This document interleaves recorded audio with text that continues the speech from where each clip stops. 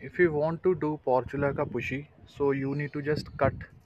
the tip of this plant इसकी जो tip है उसको काट दीजिए जिसके साथ नई ब्रांचेस शुरू हो जाएँगी